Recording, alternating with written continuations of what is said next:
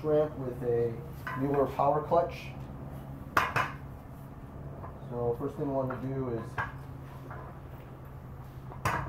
put the bike up on stand so that uh, we get into the primary without leaking too much. So I lift it up on the front. Alright, our next step is to loosen up the clutch cable. We'll pull up the boot.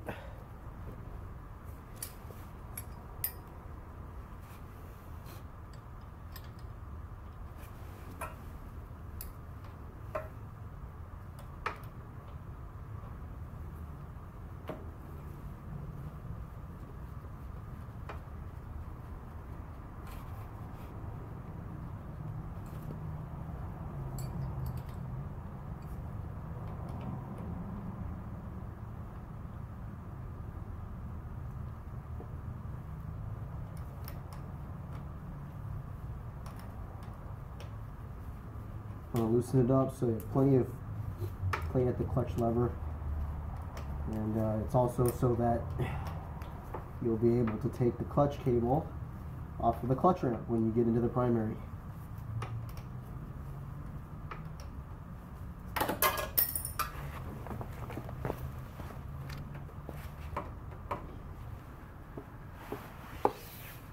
Next step is to open uh, up the primary inspection covered.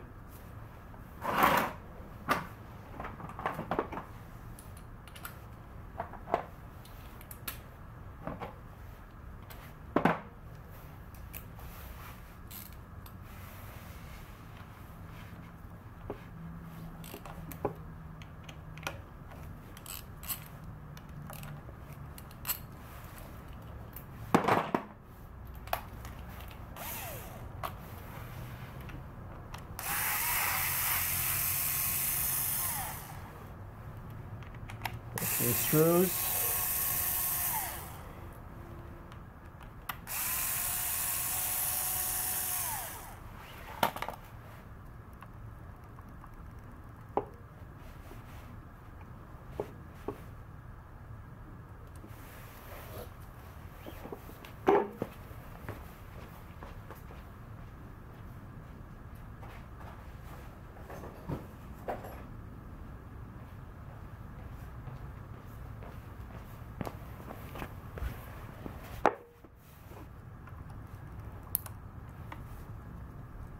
Comes off. Uh, make sure you uh, keep an eye out on this gasket right here. You don't want to damage it.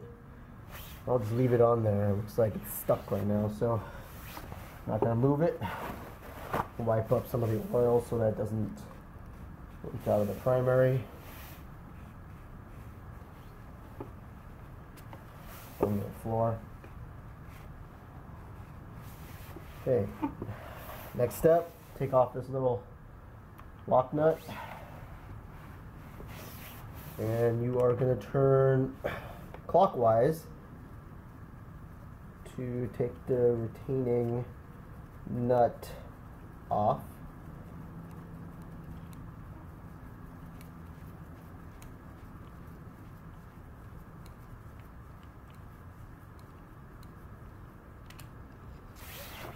Once the retaining nut is off the clutch ramp will come out.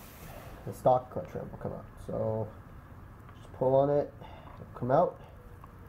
Make sure you hold on to this little metal piece that's uh, attached.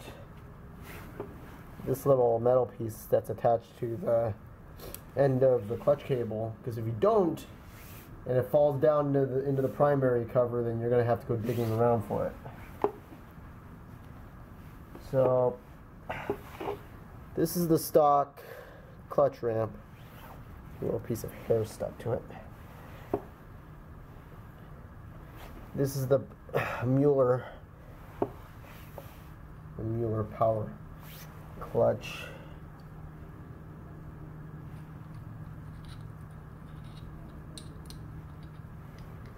Muller power clutch here. interesting.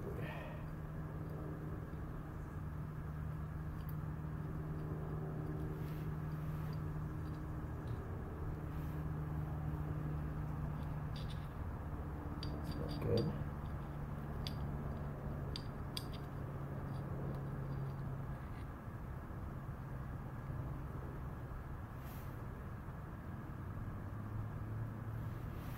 All right. So does the Muller power clutch? I orient it the same way as the stock one. So the little nub is up, same way. So it's going to go in the same way. Going like this. So, again.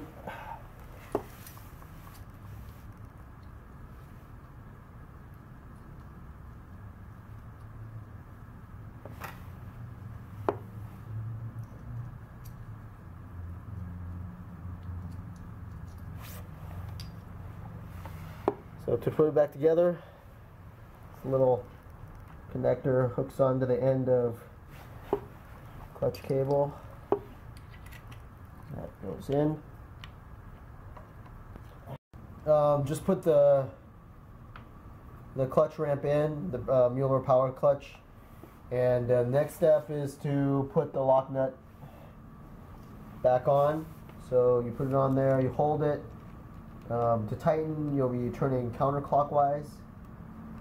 So you just hold in place, turn counterclockwise until the lock nut gets far enough in that uh, the lip catches on uh, the clutch ramp. You're going to tighten it all the way down. So um, the procedure for setting your power clutch is different than the stock procedure for um, setting your clutch uh, adjustment.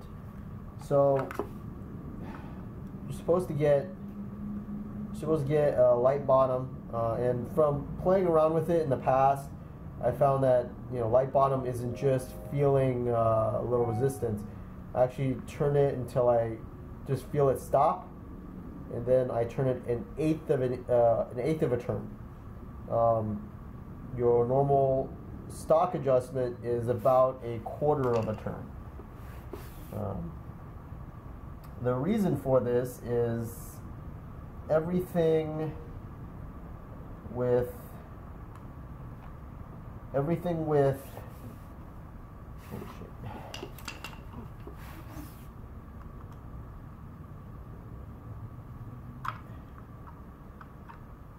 everything with your adjustment with the power clutch has to be more um, precise because the because your uh, friction zone on the power clutch is going to be a lot longer than your stock uh, friction zone. And that's the trade-off for having for having this setup um, to allow you to have less uh, power necessary to pull uh, the clutch you are actually just kind of spreading out that uh, energy over distance. So your friction zone is going to increase with this power clutch. So if you adjust if you adjust the clutch the same way you would adjust it when it's stock, you're going to run into some problems with um, maybe the clutch not fully disengaging. Um, you know, you're going to have a lot less play at the clutch lever also. I think uh, they said uh, an eighth of an inch uh, play in your clutch lever is stock. You're going to have a lot less. It's going to be closer to like 1 16th of an inch or even less than that. You're going to have to play around with it until you decide what is the best uh, setting for you in terms of where uh, where you still get full clutch engagement and disengagement and um, enough, having enough free play at the lever so that your, your clutch isn't always pulled in. Um, okay, so the next, next uh, step so this this is uh, your best friend. Um, I like it a lot. It's called the Loctite Stick. Uh, this is blue Loctite.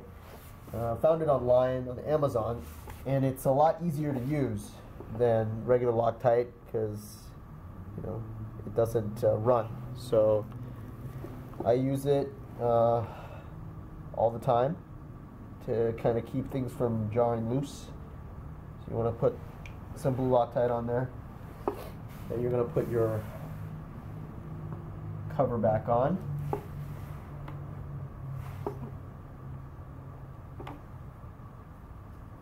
Screw it back in.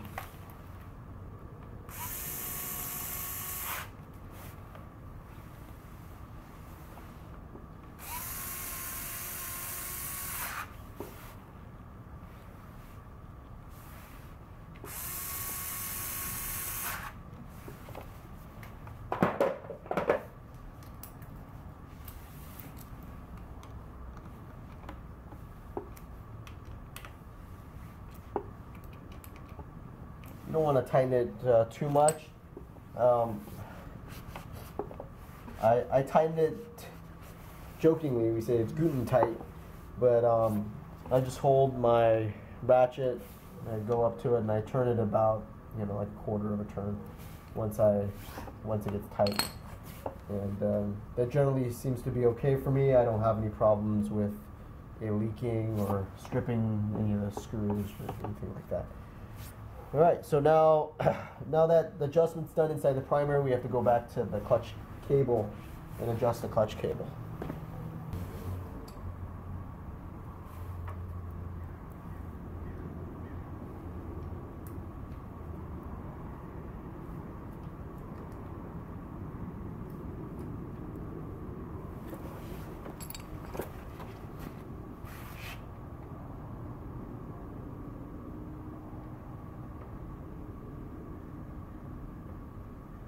Find it very useful to um, pull the clutch lever fully and release it a few times to kind of knock out any um, if it's stuck on anything.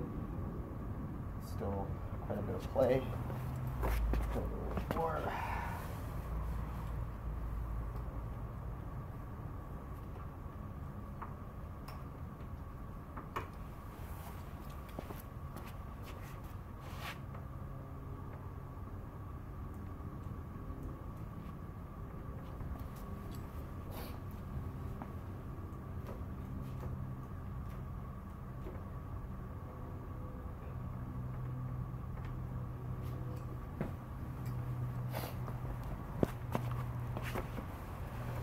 And already I can feel a huge difference in the um, the clutch pull uh, on the lever. Um, I do have a Energy One clutch with a, with a 15 or 20 percent stronger spring. All right, so as you can see,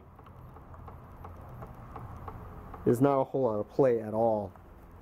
There's not a whole lot of play at all at the lever. Um, this is just my initial set, uh, setting. I'm going to start the bike up, um, put it into uh, first, put it into neutral, uh, ride it, and uh, make adjustments uh, based off of that. Alright, so uh, adju adjusted the clutch. Um, turned on the bike, put it into first. Felt a little uh, little drag on the clutch. Um, bike was drifting forward a little bit, um, but I have adjustable levers, so I just uh, moved the adjustment on uh, my lever uh, up a setting, and uh, setting seems to good be good now. But uh, this is something I do uh, every time I ride, I take my tools with me. I have a small toolkit. Um, have a set of uh, gloves. I'll have uh, some wrenches. You know, the 9 16th wrench and an adjustable wrench for clutch adjustment is good. I also have, I have more than one. I bring a couple. Um, just, just in case I need it. I also bring uh, bring any attachments for like the Torx uh, Torx uh, bits like like this. Um, I find that sometimes you need to tighten up stuff. Uh, it's good to have. So you make yourself a toolkit, and uh, you can make adjustments when you ride. So the next time I ride, I will pay attention to to how the clutch feels and make any adjustments when I stop somewhere or whenever uh, time allows. So it's pretty simple. Um, like I said before, uh, the, the clutch pull is a lot easier now with the Muller Power Clutch in. Um, if you have a stock, if you have the stock uh, clutch pack with the stock spring, um, generally speaking, the resistance isn't too great. But in my case, I got the Energy One clutch pack with a stronger spring.